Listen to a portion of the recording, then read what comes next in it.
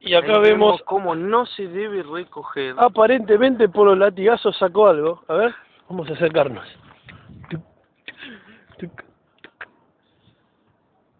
¿Eh?